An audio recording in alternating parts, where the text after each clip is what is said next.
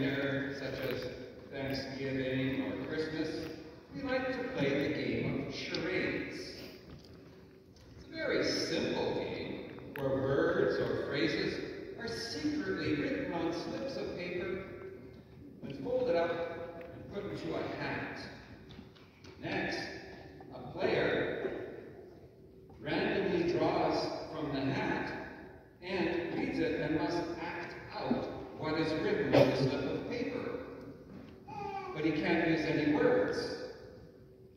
So the objective of the game is to use gestures to communicate the message so that your team may guess the correct answer. We played the game many times over the years, but one game, one game in particular, stands out in our collective memories. So I'm going to try and recreate this now. Re recreate this game and see if you can guess what the message is. But I'm going to have to move to the front so maybe everybody can see a little bit better. All right.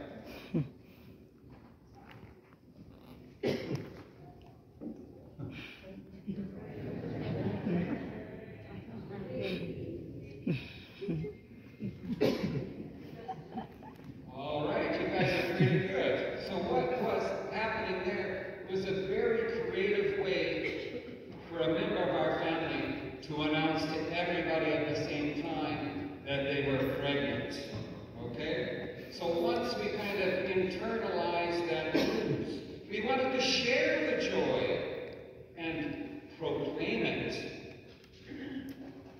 In the first reading from the book of Isaiah, we hear of God's promise of future salvation that will come after a period of suffering.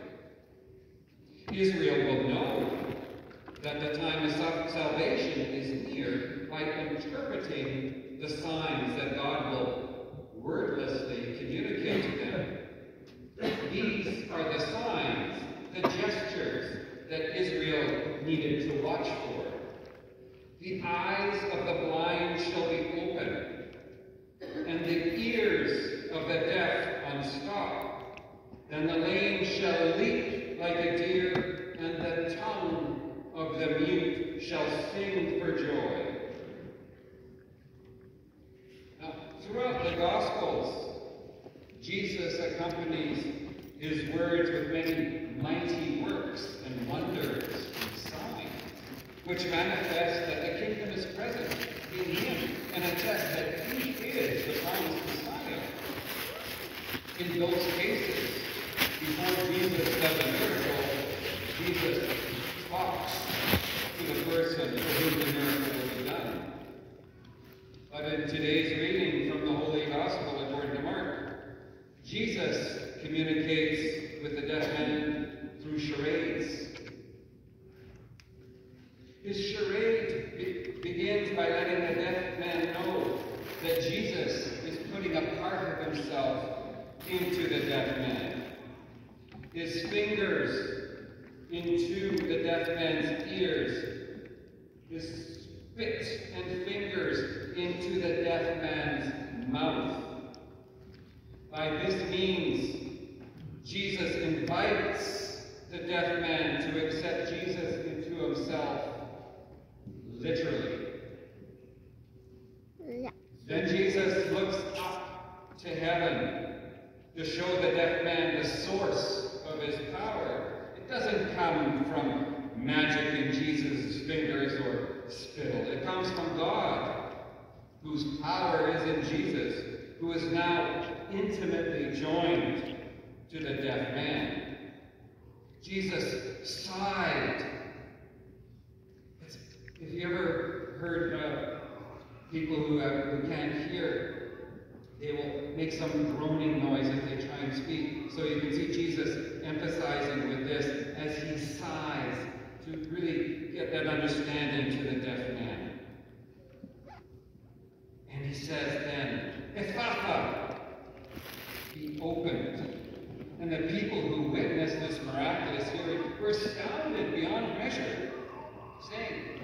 everything well. He even makes the deaf to hear and the mute to speak. Jesus ordered them to tell no one. But the more he ordered them, the more zealously they proclaimed it. Most of us have experienced physical deafness.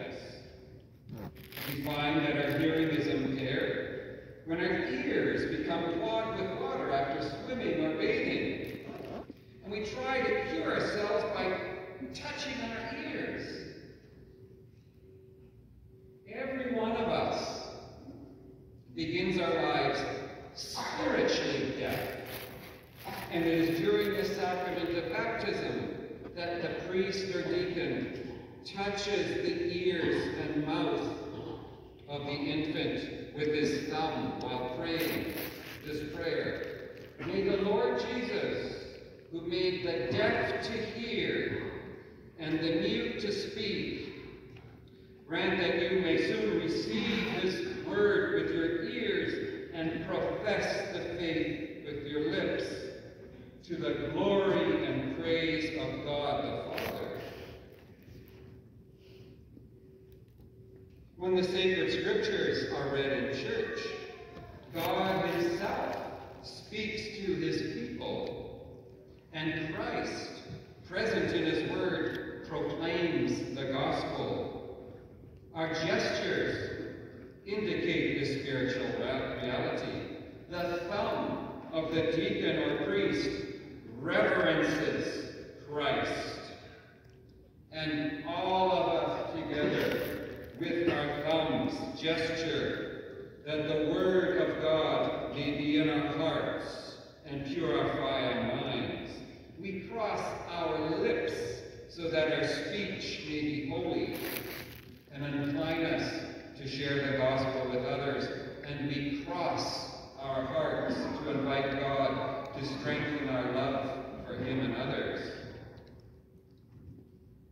When we receive Holy Communion, it is the Word made flesh that literally enters our very being, satiating our spiritual hunger thirst. Those of us who, when sleeping, breathe through our mouths know what it's like to wake up in the morning with our mouths so dry that our tongue stick to the roof of our mouth, rendering us mute until we get a little sip of water in there and loosen our tongues. Spiritual dryness is remedied by the blood of Christ, moistening our tongue, touching us physically and spiritually, so that we who are nourished by the body and blood of the Son and filled with his Holy Spirit may become one body, one spirit in Christ. With the fullness of the Holy Spirit in us, we can no longer remain mute we must zealously proclaim to the glory of our God. And let us go forth and announce the gospel.